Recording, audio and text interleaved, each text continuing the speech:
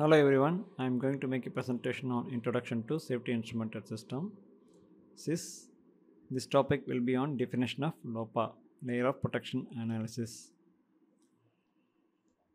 The video is being taken on behalf of instrumentationtools.com and automationcommunity.com. Kindly subscribe to the channel. LOPA concept. LOPA is a process of evaluating the effectiveness of independent protection layers in reducing the likelihood or severity of an undesirable event. LOPA is used to evaluate high consequence scenarios determining if the combination of probability of occurrence and severity of consequences meets company's risk tolerance. Each company will be having a risk tolerance upon which hazards has to be worked out and then the LOPA has to be studied and the desirable factors independent layers of protection has to be built into the facility. LOPA is most commonly used effective semi-quantitative technique. By such quantification of risk, we arrive at required LOPA target factor. We will see this in the below slides. LOPA definition. LOPA document defines what are the high risk scenarios in the plant.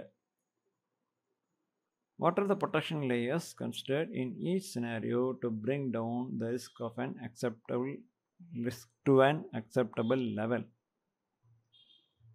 When the plants are built, especially the plants handling the hydrocarbons, oil and gas, heavy chemicals, and various chemicals, toxic chemicals, they are prone to hazards. As the plants grow older, their chances of hazard is getting increased. So, the LOPA study, and there will be one more uh, study known as hazard, hazardous operability. These will be required to be done to build the required protection layers. LOPA takes into account more factors than most qualitative technique. Hence, this is widely preferred by many plants and organizations. LOPA is a good document for training and awareness about the process hazards of each plant. Risk is quantified by impact of people, business target factor, based on value of loss, and chemical specific target factor. Chemical specific safety target factor. These are the three parameters which is used to identify and quantify the risk. And when we are studying about the LOPA, we need to understand one more acronym known as ALARP. ALARP stands for as low as reasonably practicable.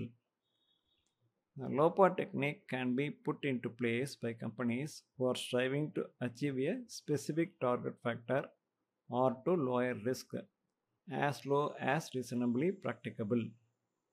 The triangle here represents the decreasing risk and the diminishing proportional benefit as risk is reduced. The ALARP principle can be used to define two sets of risk tolerance criteria a minimum requirement and a target value. The companies cannot go on spending millions of dollars to build the safety requirements and build many layers to get out the hazards. Hazard is inevitable, but the company need to make a balance between the process with respect to the uh, minimum requirements, safety requirements, and they need to achieve a target value to make it into a tolerable level.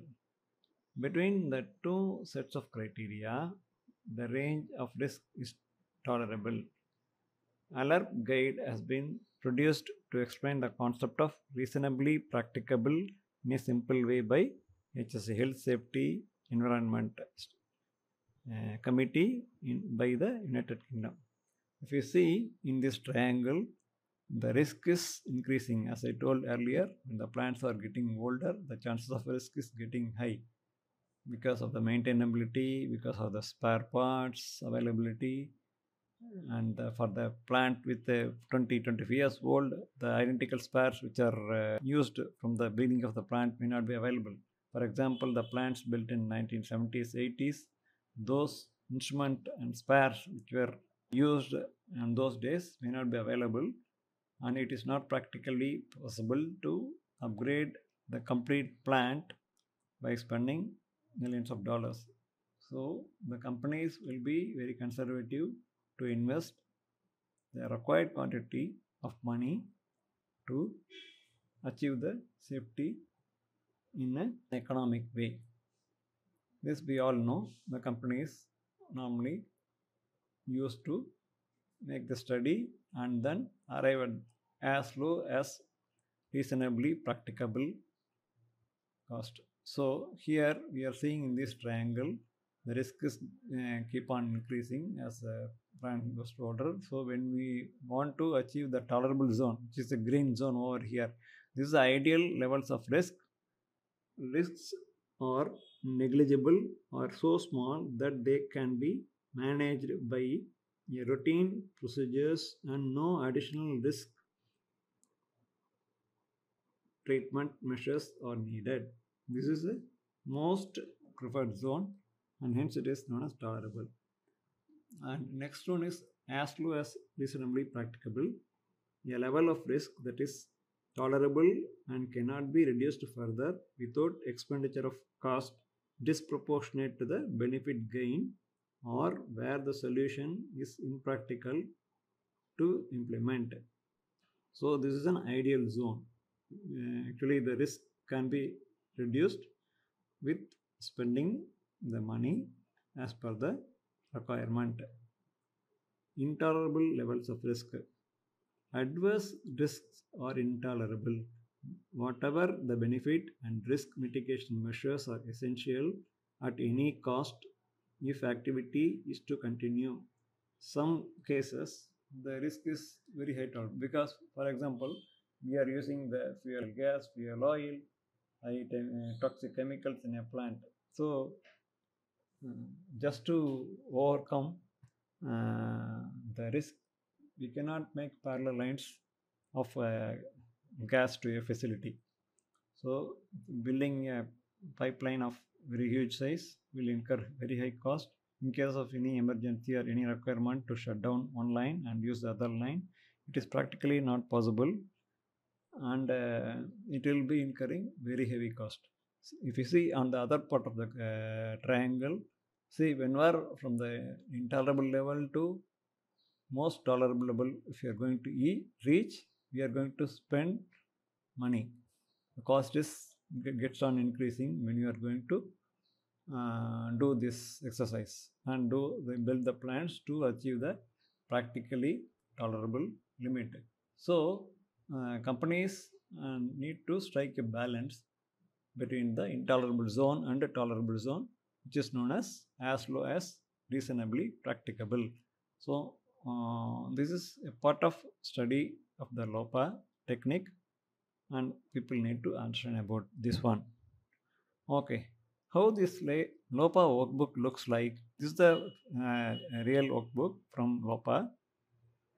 Here the protection gap will be listed over here and the target factor should be listed over here and this is the scenario definition here is giving the scenario number and the next part next to column it's a description description of undesired consequence so this tells what can happen see for example in this uh, in this slide example it's a reactor vessel failure due to polyol decomposition reaction. This is one of the scenario which is causing the uh, risk. Okay, how do we mitigate this risk uh, and arrive at the safe factor? So we have to arrive at a LOPA target factor of 6. This is the desirable limit uh, which we will discuss in the forthcoming presentations. Uh, and initiating event factor. So which initiates this kind of risk actually very little catalyst present due to acid leaking into a reactor and neutralizing catalyst this is a uh, kind of a risk how uh, it can happen, how this hazard can happen. So, and enabling factor, this is sometimes it is compounded with some other factor which enables that risk. And probability of exposure, I think how long the people will be exposed to that facility and all will be listed over here. And this is the scenarios and in the right side of the columns there will be different uh, layers like uh, BPCS uh, control layer, operation layer, and um, uh, SIS mitigation layer, and then further mechanical devices, pressure relief valves, etc. How it is going to act each item, each uh, protection layer is going to act and mitigate the uh, hazard happen from happening.